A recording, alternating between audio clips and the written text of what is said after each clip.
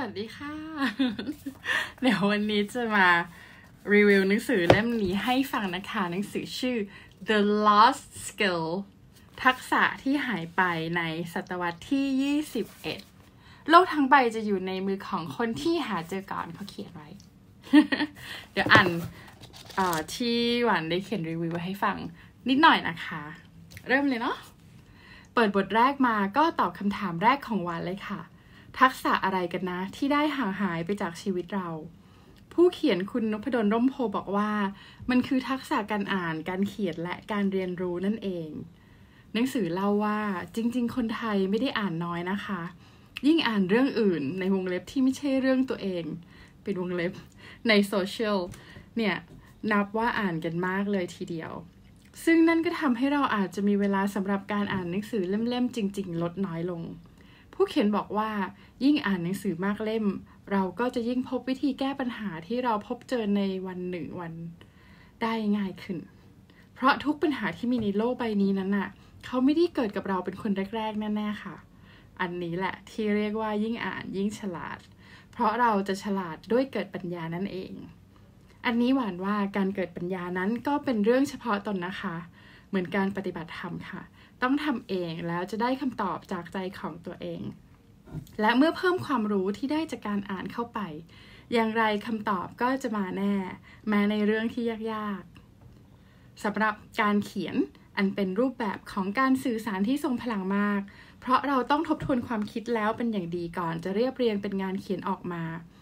การฝึกฝนทักษะการเขียนให้ดีและชัดเจน จะทำให้ผู้อ่านรู้สึกว่า เราส่งสารเข้าไปถึงหัวใจของเขาได้เลย มาลองฝึกเขียนกันดูนะคะ เด็กๆที่บ้านก็ฝึกกันมาตั้งแต่เริ่มเขียนงองงูได้บนผืนทรายที่โรงเรียนเลยค่ะ หากกลัวจะเขียนอะไรได้น้อยขอแนะนำให้ลองเริ่มจากการเขียนบันทึกประจำวัน หรือเขียนสิ่งดีๆ ที่เกิดขึ้นในวันนี้ 3 ข้อเอาสั้นๆนะ หรือเขียนลงไปว่าวันนี้เรารู้สึกขอบคุณสิ่งใดบ้าง สักห้าอย่างก็ได้นะคะ ลองเลยไหมล่ะ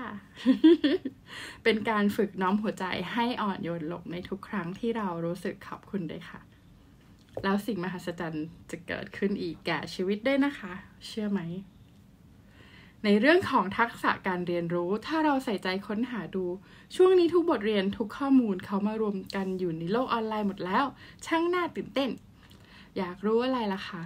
กดค้นหาแล้วเรียนได้เลยท้าทายตัวเองดูว่าในวัยอย่างฉันเนี่ย จะยังเรียนรู้เรื่องเข้าใจนำไปใช้จริงได้กับเขาอยู่ไหม สมองของคนเราจะชอบโจทย์และความท้าทายใหม่ ๆ ที่เข้ามาเสมอ เมื่อมีคำถามหรือมีอะไรใหม่ ๆ เข้ามา คลังข้อมูลในสมองที่เราได้เรียนรู้ เก็บเอาไว้แล้วจะถูกเปิดออก ไอเทมที่จำเป็นจะถูกหยิบออกมาใช้รับมือกับเรื่องตรงหน้า ทำให้เรากลายเป็นคนที่เข้าใจอะไรอะไรได้ง่าย ปรับตัวปรับใจได้เร็ว และรับมือกับทุกสิ่งได้อย่างลื่นไหล รู้สึกเบิกบานสดใส เพราะเราผ่านได้ด้วยเท่าทันโจทย์นะคะ และจากหวานนะคะ เราจะไม่หงุดหงิดหรือเป็นคนโกรธอะไรใครง่ายด้วยค่ะ เมื่อรู้ทุกอย่างตามความเป็นจริง ก็จะเห็นความธรรมดา อันเป็นธรรมชาติที่มีอยู่แล้วในโลก ไม่เวียงหนูแล้วนะคะ มันน่ากลัว อันนี้แฮชแท็กเฉยๆ ไม่เวียงกันนะคะ ชีวิตคุณจะง่ายง่ายขึ้นไปในอีกระดับ อัพเวลอารมณ์กันเลย ไปอ่านหนังสือไปเขียนไปเรียนรู้กันนะคะ ก่อนนอนและก่อนตื่นนอนก็ได้ เขียนสรุปอย่างไรให้ยาวกว่าบทหนึ่งของหนังสือเขาเนี่ยค่ะ หวานเอง แล้วไว้จะมาเล่าความของบทต่อไปให้ฟังอีกนะคะ ขอบคุณนะคะ Have a lovely evening แล้วก็นอนหลับฝันดีนะคะ